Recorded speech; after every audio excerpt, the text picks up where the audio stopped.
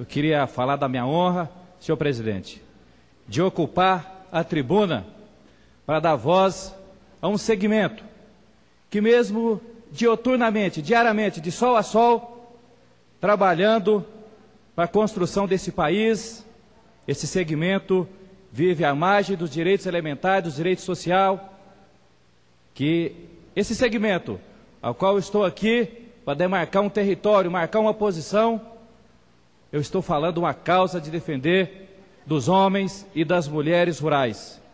Dos homens e mulheres, com o seu suor, eles cuidam das plantas, cuidam dos animais, produz águas nas suas propriedades, cuidando das nascentes, cuidando do meio ambiente. E são esses agricultores que nos dão a oportunidade de toda Minas Gerais, do norte, do Jequitinhonha, do centro-oeste, do Triângulo Mineiro, da Zona da Mata, do sul de Minas, e também o civismo, a minha ligação às minhas raízes, de filho de agricultor, uma história que é igual a de 90% dos brasileiros que nasceram no campo. Nasceram no campo e tiveram que superar todas as adversidades, porque foi lá nas margens, na barranca do Rio Paranaíba, do meu querido Triângulo Mineiro, foi lá que nasci e vivi grande parte da minha juventude. Como falo da vivência e com a convivência e a consciência de quem sabe as agrúrias, que mesmo honrosa é da atividade rural. Falo aqui, senhor presidente, de uma atividade que tem maiores quantidades de riscos na sua implementação. São muitos instrumentos, as ferramentas de fazer transformação social e levar justiça social ao campo e às cidades. Mas no campo, senhor presidente, tem uma educação que é especial.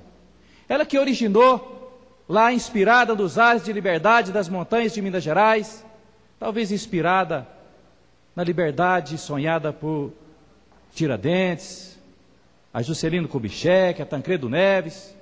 Eu falo da extensão rural.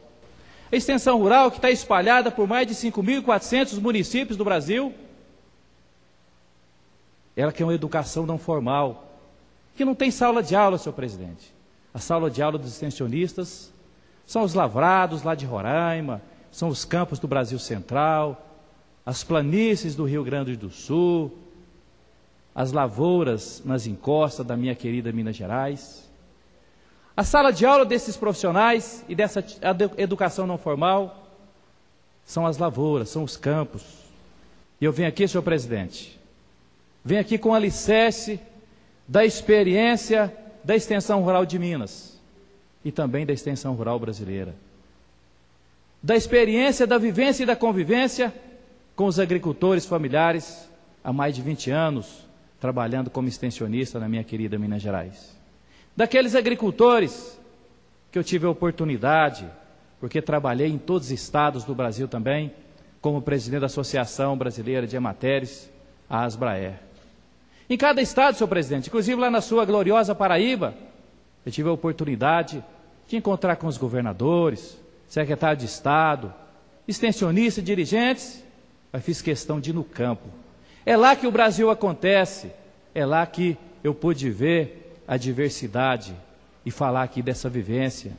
Por isso, senhor presidente, nas cidades dos jovens de 25 a 34 anos, 52%, mais da metade, conclui curso médio ou superior. Enquanto no meio rural, senhor presidente, de cada 100, apenas 17, é 17%. Não basta só falar da realidade, eu preciso ter proposta.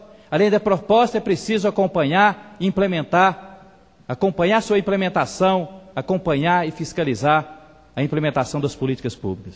Por isso que eu quero propor aqui, para a presidenta Dilma, para o governo federal, para essa casa, para implantarmos, dar, tomar a decisão política de dar ao meio rural os direitos sociais que as cidades já conquistaram.